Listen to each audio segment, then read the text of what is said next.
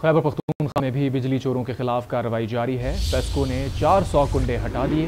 बिजली चोरी की मद में 50 लाख रुपए से जायद के जुर्माने आयद किए गए हैं। तर्जुमान के मुताबिक मुताद बिजली चोरों को गिरफ़्तार करके पुलिस के हवाले कर दिया गया है।